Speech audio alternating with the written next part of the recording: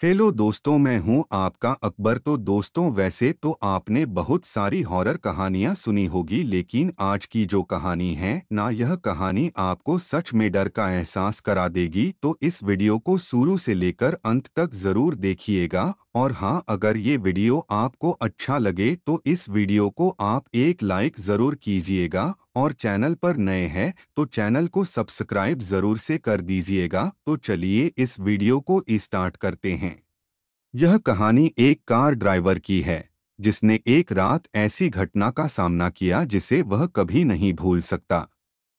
अंधेरी रात और सुनसान रास्ता रघु, जो एक अनुभवी टैक्सी ड्राइवर था, देर रात अपने अंतिम यात्री को छोड़कर घर लौट रहा था। रास्ता जंगल के बीच से होकर गुजरता था। उस रात घना कोहरा छाया हुआ था और चारों तरफ़ सन्नाटा था। जैसे ही रघु ने अपनी कार एक सुनसान मोड़ पर घुमाई, उसे सड़क किनारे एक महिला खड़ी दिखी। महिला ने सफ़ेद साड़ी पहनी थी और उसका चेहरा झुका हुआ था। उसने हाथ देकर रघु से लिफ्ट मांगी। रघु को थोड़ी घबराहट हुई, लेकिन उसने सोचा कि इतनी रात को किसी को अकेले छोड़ना ठीक नहीं होगा।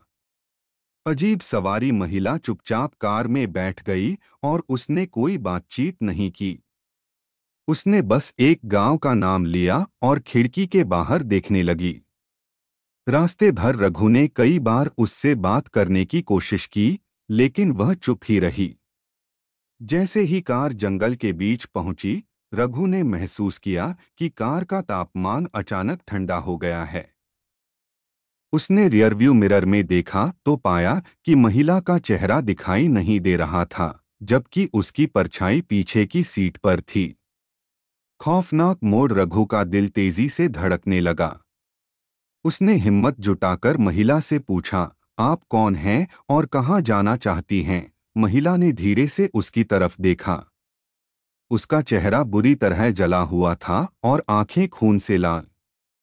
महिला ने कहा, जहाँ मैं जा रही हूँ, वहाँ तुम्हें भी आना होगा। रघु ने डर के मारे कार रोकी और भागने की कोशिश की, लेकिन उसका दरवाज़ा अंदर से बंद हो चुका था। रहस्यमय अंत सुबह होने पर रघु की कार एक पेड़ से टकराई हुई मिली। वह बेहोश था, लेकिन ज़िंदा था। जब पुलिस ने पूछताछ की तो उसने पूरी घटना बताई। लोगों ने कहा कि उस जंगल में कई साल पहले एक महिला की मौत हो गई थी, और वह अक्सर उसी जगह दिखाई देती है। उस दिन के बाद रघु ने रात में ड्राइविंग करना छोड़ दिया। वह घटना आज भी उसके सपनों में आती है और उसे झकझोर कर रख देती है। यह कहानी हमें सिखाती है कि कभी कभी अंधेरी रातों और सुनसान रास्तों पर छिपे रहस्यों को नजरअंदाज करना ही बेहतर होता है।